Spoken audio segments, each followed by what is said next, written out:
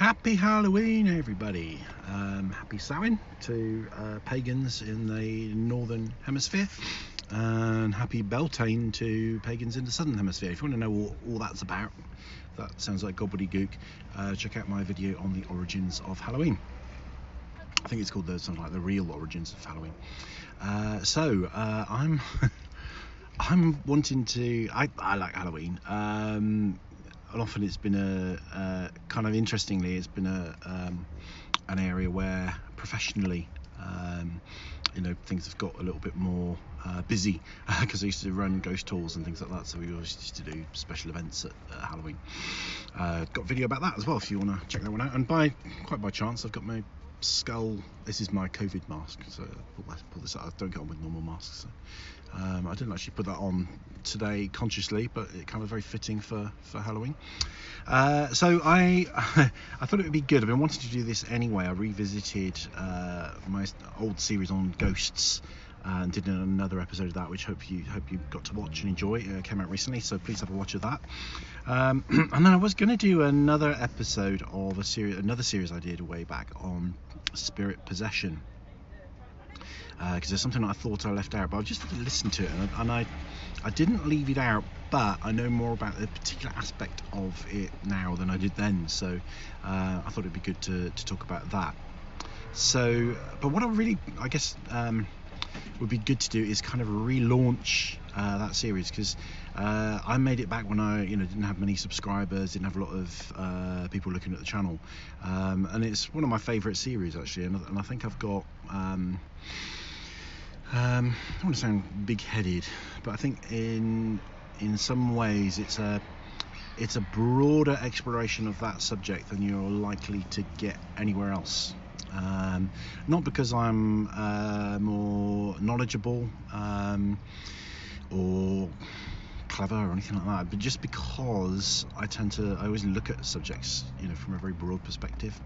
Um, and most people that kind of get interested in a, in a subject like that tend to kind of have a, uh, a particular opinion that they're coming from, or a particular religious view that they're coming from, or uh, a particular angle, and they, they don't explore all the angles. So I think it's, you know, if you if you kind of uh, if you have a, an inquiring mind and you like to think about things, and you think, well, so like with spirit possession phenomena, something's going on. Uh, so in my series, I've explored kind of you know all the uh, a lot of psychological conditions and uh, non-psychological medical kind of conditions that might look like that. Uh, I've looked at it in different cultures. I've looked at different kinds of possession. Um, so I think it's a damn good series. Really, it's really badly shot, like all my videos are. Um, at one point, I got the camera upside down, um, but I thought that was kind of appropriate in terms of kind of things like spinning heads. Um, but I, am kind of, you know, wanting to kind of, uh, you know, uh, get some more love really for some of these older series. So, um, so this is kind of like a like a relaunch video really, and I'm going to put a link below to. So what I'll probably do is put a link to the first one, um, but the best way to find it is to look on my playlist, and that will give you um, all of the videos. So there's seven parts uh, there. Um, so um, what I wanted to uh, revisit really, but for if you're watching this, it's probably be you're watching this for the first time. I alluded uh, in I think episode seven to uh, a Jungian perspective on uh, spirit possession phenomena. Um, and this is something I found out more about kind of very recently, and I, have touched upon it in my most recent ghost video. And actually, I made a mistake of saying, "Oh, if you've if you've watched that one, don't watch this forthcoming one that I'm going to do because it's the same thing." But actually, I was I was getting a little bit confused. It's actually quite different, but um, there is a similarity. So stay with us, even if you've watched that one. Okay. So Jungian um, Jungian philosophy um, holds with uh, something called archetypes or archetypes, as uh, our American cousins like to call them. Um, so uh, archetypes are um, kind of uh, I mean, I explained it in the previous video, so I want to kind of, um, but I think it is it's worthy of explanation now. I want to see if I can kind of maybe uh, describe it in a in a new and exciting and colourful way. Um, it's Halloween tonight. Uh, well, that's why I'm doing this video, as you know. Um, and I'm parked outside uh, supermarket, um, as I often am doing these videos, uh, and watching all the people coming past in different fancy dress at the moment, which is kind of cool. So there's uh, there's a charges walking past with kind of like um, horns and bat wings. And then Mum, I think, has got um, a dinosaur hoodie on, something like that. It's quite, it's quite cool. Um, so archetypes, yeah, I want to let me challenge myself to kind of give a, uh, a slightly different uh, interpretation of archetypes. Um, so let's come at it from a different position. Let's come at it from a position of kind of fiction and literature. So if you look at, uh, you know, books, films, uh, all art forms, uh, you know, visual arts, stuff like that, you you will tend to see a repetition of certain kinds of character. Um, so, and Star Wars maybe is a good one to, to, to talk about because uh, Star Wars is full of this kind of stuff. Star Wars is full of kind of Jungian archetypes. Um, so, uh, so one of the um, one of the, the classic archetypes in Star Wars is uh, Obi Wan Kenobi, uh, the wise old man you know, and that kind of character presents itself over and over and again in, in mythology, in literature, in art. Uh, we'll come into our dreams. You know, people have visions along along these lines. Um, the wise old man that uh, lives in a cave. So in, in the case of this, he doesn't live in a cave, but he lives in you know uh, he lives in a dwelling, you know, isolated dwelling out in the desert, and he's a hermit. You know, so the holy hermit, the wise person, is an archetype. Um, and what Jung realised was that these kind of images, um, characters, uh, occur again and again and again, and particularly in ancient mythology. But not only just uh, one kind. He, looked a lot at Greek mythology, but not just in Greek mythology, in mythology from all over the world. The same kind of uh, characters uh, would present themselves. So the uh, the arch uh, and they he called them archetypes, which means kind of archetypes. So if you think stereotype, that's probably the best way to understand archetypes on a simple level. So, you know, you get certain characters in TV and drama that are stereotypes because they're um, and certainly not just in TV and drama, but in our own heads. You know, we we all probably guilty of stereotyping. You know, we, so we think of gay men as as being a certain way. You know, um, when actually gay men are you know of all you know a variety of you know shapes and sizes and personalities and interests and stuff like that. But there there will be a kind of a stereotype. There's racial stereotypes. There's um, national stereotypes. Uh, so for example, you know, if you uh, if you wanted to, and these things often in cartoon. You know, you find them in because cartoon has to kind of um, give a lot of information in maybe just one you know one piece of art or one frame. So um, you know national stereotypes so you know imagine that you know uh, you know if you wanted to portray somebody who was French you know you would have them in a stripy uh, stripy sweatshirt, sweatshirt and they'd have a beret and they'd have um you know kind of be on a bicycle with onions, you know. Um, and you know, if you look at the the reality of that, you know, how many French people, um, you know, would fit that image? Um, probably none. You know, probably like one or something. Um, so so archetypes are a bit like stereotypes, but stereotypes are things that we kind of build from our experience and from media and from other things. But archetypes are things that are, are built into us already okay, according to Jung's theory. Uh, so what Jung uh, realized was that, um, or his, his belief was that, that these kind of images um, instantly mean something to, um, we all relate to them, we all respond to them, and um, we will all, and often we will create them or present them. So if we were uh, to do a piece of art or write a song, you know, uh, or do some poetry, these archetypes might kind of might well appear in that piece of work. And his theory was that they're um, bit like, you know, we kind of you could say we inherit instinct you know, um, you know things from our ancestors that we that we naturally inherit. It's like you know most of us like sitting by fire, um, probably because around that, you know that was a survival thing for our ancestors. We like the sound of trickly water. You know, back in uh, back in days when physical survival was more of a need. If you were by a trickly water of a spring, you knew that you were safe because you had a, a, healthy water supply. So these things, you know, are kind of um, hardwired. Uh, within us, within our minds. Now, quite how they're hardwired and how they're passed on is, you know, something that we, you could kind of talk about forever, probably. But his belief was that they're they're all there. uh, within us, within us all, somewhere or other. Um, and um, we will resonate more with some than others, um, and at different times that might change. And there's an, another um, phenomena uh, which in Jungian uh, psychology is referred to as it's referred to in two different ways. One is actually called possession. Um, uh, which kind of makes sense when we explain it. Uh, it's also referred to as inflation. Now, inflation makes it sound like it's to do with the, price of cheese going up. Uh, but if you think about what inflation means, if you, inf- you inflate a balloon, okay, um, so um, so a balloon is something that's empty, and you fill it up with air, you inflate it with air. Okay, so uh, inflation in Jungian terms is where um, a particular archetype will overwhelm uh, an individual's personality and they will start to present that archetype and manifest that. They'll, they might dress in a certain way, they'll behave in a certain way, speak in a certain way, um, and they're manifesting that, that archetype. Um, but it's it's called inflation. It's, it's considered you know something to be very you know something to be potentially quite dangerous in the not in the, the sense that um, you're going to die um, or kill someone, but in the sense that um, uh, you become quite ungrounded, a little bit like a balloon, helium balloon. You kind of float float off into a fantasy world, uh, and you lose your own sort of sense of personality.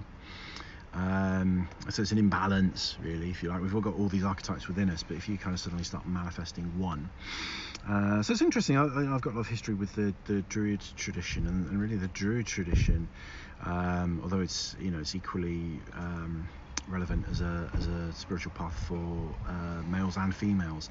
I think a lot of that is uh, is the wise man archetype, you know, because you you know he's wearing robes, often holding a staff. Uh, a lot of druids are beardy. Um, um, and it is about the path of wisdom. It's you know uh, also, also about often withdrawing to ancient places and secluded places and things like that. So um, so you could, and, that, and, it's interesting from from my experiences in the Druid world, I experienced um, people that were wonderful people, incredibly grounded. You know that like you know they were really solid. Um, people that you just felt an immediate like trust of you know you'd like um, very strong you know very uh, down to earth really but you know they believe all kinds of mystical stuff but they'd be very down to earth and, and um, uh, just, you know, like oak trees, you know, they're fantastic, which is interesting because oak trees is all to do with uh, druidry. And uh, the other side of it is uh, people are completely crazy. Um, and I met quite a few of those. And if you look at kind of druid history, it's full of people that are crazy. So uh, if you look up, you know, Iolo Morganwg, uh, and it goes. And if you look at Merlin, Merlin is a, a, really strong expression of the wise man archetype. Um, but um, Uh, and Merlin is a legend. You know, Merlin probably never really existed, but if he did, he would have, you know, very, he would be very much embraced uh, and um, kind of, um, what's the word, um, seconded, requisitioned uh, by the by the Druid tradition. You know, the Druid, you know, Merlin is is ours. You know, um, as as, as part of the Druid movement. Um, so that that's one example. So the crazy, and I'm not dissing druids here because I've met some fantastic druids, um, but there are some crazy ones, and it could be argued that uh, if you look at it with a, a Jungian perspective, that what they've done is they've been inflated. They've been inflated by the wise man archetype, and they've lost their balance in the process. Whereas actually, real druidry and real wisdom is about being balanced, I guess. So there's an irony there.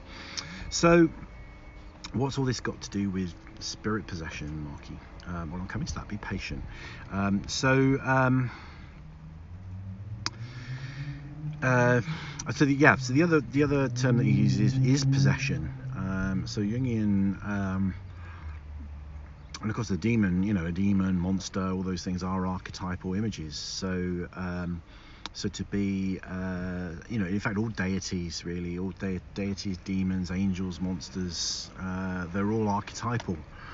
So, uh, so to for somebody that manifests as being possessed and maybe you know uh, speaks in a, a, demonic voice and uses you know says claims to be uh, a certain demon, um, that could well be manifesting that archetype. Um, and one thing that's really you know doubly interesting about this is and this is where it might be worth watching if you haven't the the recent last video I did on ghosts um, is that Jungian theory will actually uh, embrace the possibility of uh, external manifestations of uh, inner psychological um, dynamics. Um, so, and I talked about the other video, I actually give a link to uh, a video where someone's experiencing poltergeist phenomena. Um, and uh, they're looking at it from a Jungian point of view, that actually it's a, it's a part of that person. Uh, uh sorry, it's, it's, an archetype uh, within that person's psyche uh, that is has been trying to kind of pass on an important developmental message to them in the way that the unconscious kind of um, you know sometimes becomes conscious and tries to get our attention and let us know useful things. Um, and it's doing it in the form of an external uh, projection you know uh, banging and, and, knocking in this in this house. Um, so and what happens with you know stories of demonic phenomena? So you get you know um, you get poltergeist phenomena you get external things happening you get you know people levitating you get beds lifting off the floor beds shaking uh, suddenly goes cold things fly around the room you know that that's often associated with accounts of possession.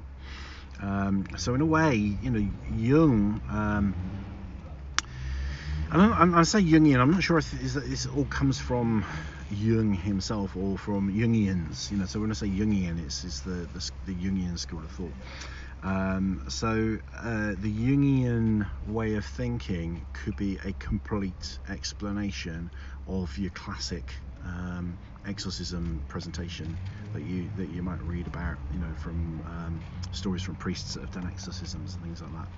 Um, it would be a kind of you know a holistic and complete explanation of that whole phenomenon. You could look at it entirely through a Jungian lens, um, which is which is really interesting. So um, I mean, I I I don't disbelieve uh, I'm very open open to the, the uh, possibility of this uh, this theory, the Jungian theory, um, and I think it could account for a lot of those um, phenomena. I don't think it would account for all of them because I don't. I know. I think very seldom. Um, I've said this before in another video, and this is kind of one of the main messages I like to give around demystification: is very seldom does a, a phenomenon have uh, a single cause. You know, often it's you know it's multiple things. You know, that goes for uh, you know uh, kind of paranormal things and things like UFOs, but also um, illness. You know, the example I give is a headache. Um, you know, you've got a headache could be caused by oh, I don't know, probably thousands of things, if not if not more. Um, you know, so a headache could be, uh, you know, you, you, lots of bright sunlight. You know, you, um, it could be from dehydration, it could be from carbon monoxide poisoning, it could be from a brain tumor, uh, it could be from uh, being exposed to too much loud noise, it could be from stress. Um, could be from uh, you know problems with neck and shoulders, you know, but they all cause a headache. Um, and I think you know these things, you know, are no different. Um, I think headache's an example where there's probably more uh, possible explanations. You know, I think that's why it's a good example. I think uh, I don't think there are you know probably thousands of explanations for um, spirit possession phenomena, but you know certainly a good few. Uh, I'm not sure how many I've listed in this video series. So please watch my series. um, so I mean, one of the reasons it's broken up into um, shorter bits, um, which is a bit of a, a pain, uh, is again back in back in the day um, when I had fewer subscribers and view count and all that kind of thing. Um, I couldn't YouTube wouldn't let me record longer videos, so I used to have to kind of uh, keep them really short and then say right, see you in part two and see you in part three and see you in part four. So that's why it's a you know it's a seven parter.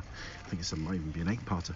Um, so so this really is a plea to uh, to revisit that series, revisit the uh, Spirit Possession uh, series, re- revisit the um, uh, Ghost series, um, and then you know have a look because I've got if you like paranormally stuff, um, I've done one on UFOs, I've done one on anomalous uh, big cats.